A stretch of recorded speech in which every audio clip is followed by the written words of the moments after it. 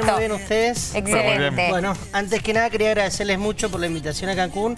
Yo también. Ah, se bien con esa bien. fecha puedo, así que bueno. Gestiona un pasaje más, Dani. Pero te puedo gestionar un pijama, si querés. Ah, No entendí mal entonces. Bueno, Clary estuvo el fin de semana viajando a San Rafael con una empresa de viaje. ¿Quién Capaz te que dice esa empresa, se cope? Mira. También puedo en Cancún. esa ¿Se ve a fecha, Cancún? bárbaro. Cancún, Tulum, Hay, que por ahí. traerlo al abogado. ¿A dónde? A Cancún, hay que invitarlo, ya está. Bueno, me convencieron. El. Bueno, vamos a ver qué hacemos. Vamos a hablar, Ramiro, sobre las fotomultas, un tema muy actual. Seguramente muchos ya se encontraron con que abrieron su casilla de mail, por ejemplo, y los sorprendió esta fotito de su vehículo donde se veía perfectamente la patente y la infracción. Exacto, tal cual.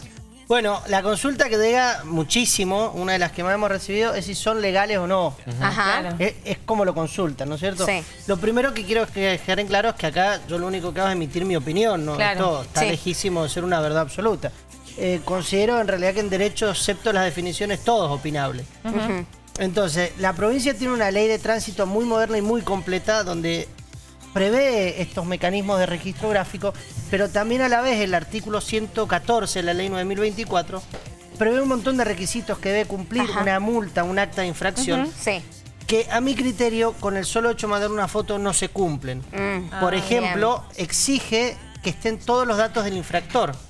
No Ajá. basta con que estén los datos del, del propietario del vehículo, que eso con la patente sí se puede sacar. Sí, claro. Claro. Pero exige nombre, DNI, apellido eh, y el número de carnet del infractor.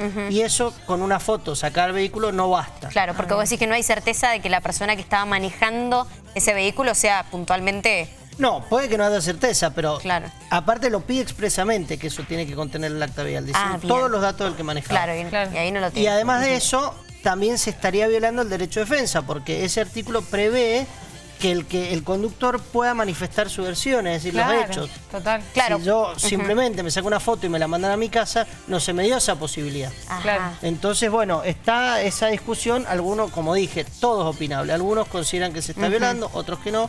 Tiene que haber carteles, ¿o no? En la zona Bueno, donde supuestamente claro. es la fotomulta avisando, ojo, zona previa a... Es- la verdad que este es- programa me encanta, me sorprende. Las preguntas que hace siempre es impresionante.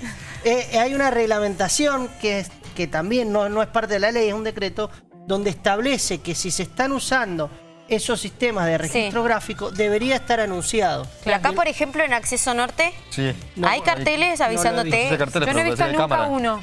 Claro, Sí, no, cámara, en el pero acceso norte carteles. sí Ah, no, hay bueno. fotomulta, pero no, no hay un aviso previo que Si sea no hay aviso ojo. previo, hay un decreto reglamentario que lo establece como requisito, que tiene que estar un cartel anunciando, se establece que tiene que tener cierta altura, no puede ser uno que esté pegado al piso, Ajá. entre otras cosas. Así que sí, eso es muy importante.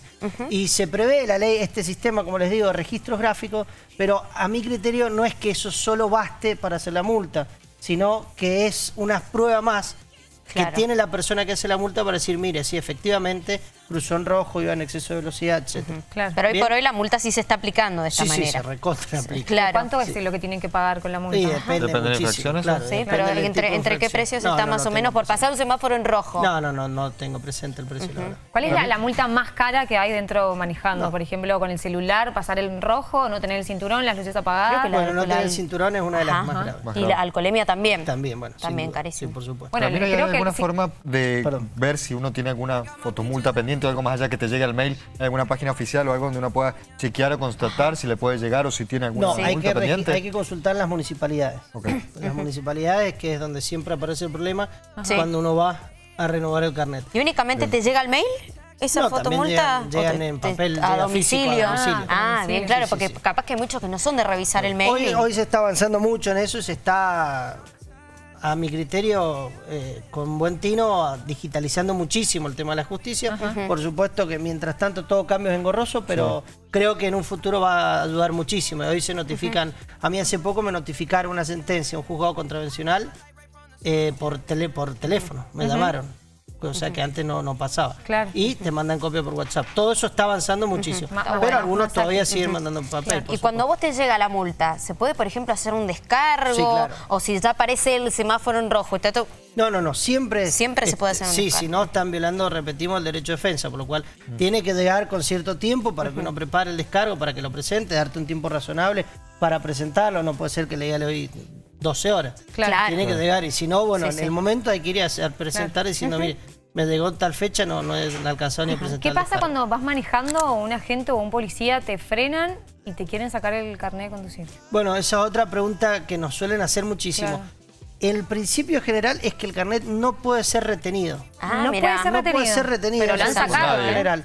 Hay casos puntuales que establece la ley en el artículo 40 que son taxativos. Es decir, solamente se puede en esos casos. Bien. Por ejemplo, si está vencido, Claro. Ah, bien. si hay alguna duda razonable que es un carnet falsificado, si estoy habilitado para manejar una categoría y estoy manejando otra. Bien. Claro. Pero son seis o siete casos muy puntuales que da la ley. No porque te frenan y te dicen ibas a máxima velocidad o Te hiciste retengo una infracción, dame tu claro. carnet. Exacto, eso no, no se puede. ¿Y, y por qué lo Perfecto. hacen? Y bueno, que Tantas cosas hacen. No, digo, pero- ya no puedo responder yo No, porque claro, hace que quizás lo que ante la ignorancia del, del conductor de que esto no se puede, pero está bueno advertir. Claro, Claro, accede de a que se lo que- quede el oficial. Sí, o son esas cosas que también uno va a hacer un trámite y le dice, no, pues usted debe multas. ¿Y qué tiene que ver? Son Claro, Aprovechen sí, un poco el total. desconocimiento de, de- Claro, de sí. la- de todos.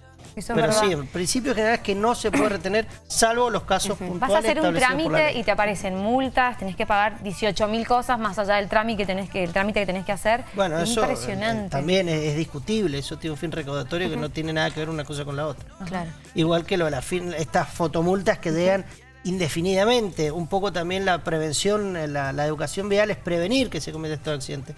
Si yo lo único que hago es sacar foto y cobrar multa, pierdo un poco este fin. Me estoy dando un Para, fin más para vos no, cumple el fin de, de- prevenir accidentes. Ese solo viales. no, previ- Ajá, lo único que busca es un fin recaudatorio.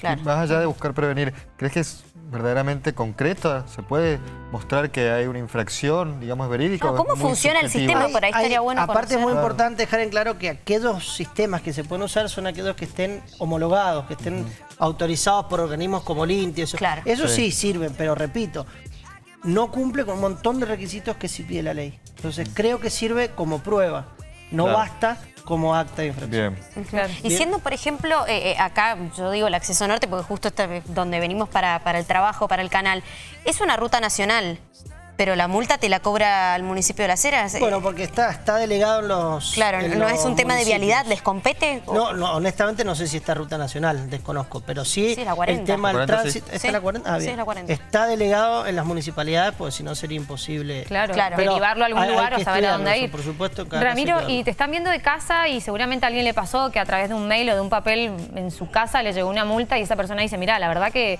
desconozco, no iba rápido o no sé el motivo. Quiero ¿qué hacer el descargo. Claro, ¿cómo ¿qué presenta- hacen para la hacer primera defensa es presentar un descargo. Bien. Ajá. Y lo redacta uno, tiene que, Bueno, que recurrir a un letrado, ¿cómo se hace para Sí, hacer? no es obligatorio.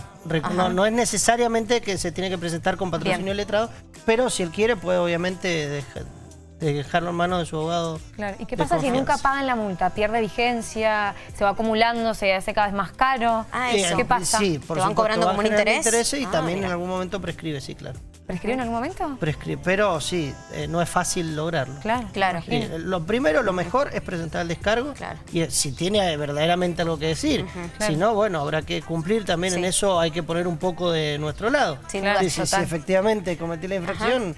Pero si hay no- descuentos. Si lo- Hay descuentos, sí, el, el eh, famoso eso pago voluntario. Ajá, sí, sí, sí. Por eso, si efectivamente lo cometí y soy consciente, recomiendo el pago voluntario. Pero Sí, sabemos supuesto. que tiene que ser legal, que en donde haya una fotomulta tiene que haber un cartel La previamente con, con lo, Está con lo que, con lo que tiene que que tener. que no. dice que Claro. se está usando ese método. Perfecto. Sí. Perfecto. Bueno, nos hemos sacado Sí. varias dudas. ¿Te ha pasado por ahí que un cliente cae y, y está la foto mal sacada? Por ejemplo, el semáforo en verde, todo en regla, y llega la fotomulta. Por ejemplo, yo lo escuchaba a Montacuto, nuestro compañero acá de, de Radio New Will, que decía, me llega la fotomulta, pero veo la fotito, evidentemente está mi auto, se ve la patente, pero el semáforo en verde, ¿qué pasó?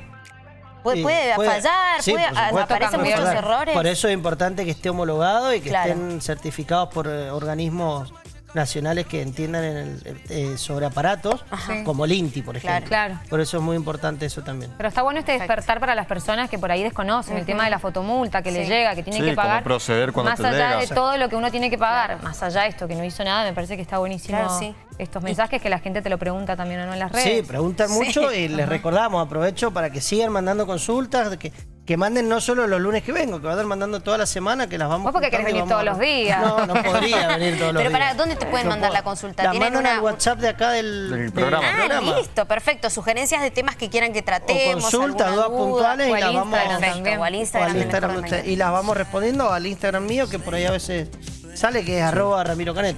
Y vamos respondiendo con eso acá cuando vengo. No podrían ir todos los días, así que. No, no sé, lo vamos Solo- a tramitar. Si querés Solo venir a- Cancún. Si querés Solo venir a Cancún, si Esa semana justo pues. Te queremos en la puertita ahí para que, no sé, nos cuides. Bueno, perfecto.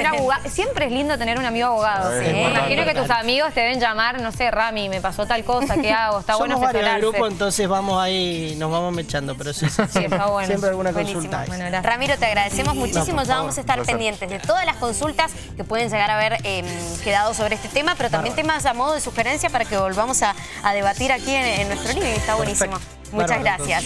Vamos a compartir ahora un consejo de